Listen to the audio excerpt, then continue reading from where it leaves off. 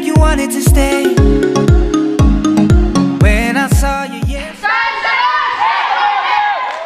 היי, אני ליאת, בת 38, אה, נשואה, אימא לשלוש בנות. אה, ענף הכדורשת אה, קיים כבר עשר שנים. יש בענף כמעט עשרת אלפים שחקניות, אימהות, נשים, בארץ ובעולם.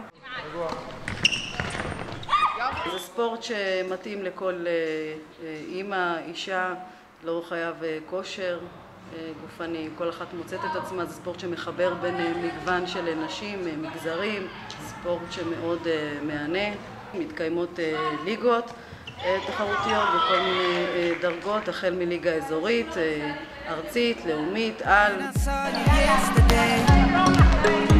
קוראים לי אושרת, אני מקיבוץ מצובה. נכנסתי לכל עולם הכדורשת על ידי כך שהייתי גרה בשלומית.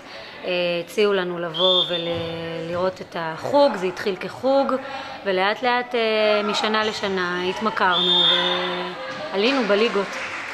קוראים לי שלי, נכנסתי לעולם הכדורשת על ידי חברה שפגשה אותי בקאנטרי ואמרה לי, את חייבת לבוא לנסות, יש איזה ספורט מאוד נחמד, של אימהות, אה, מעניין, אה, מאתגר, ובאתי ונדבקתי בחיידק.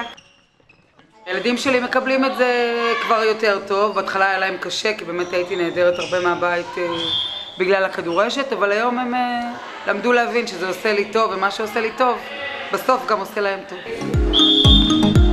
I see ya.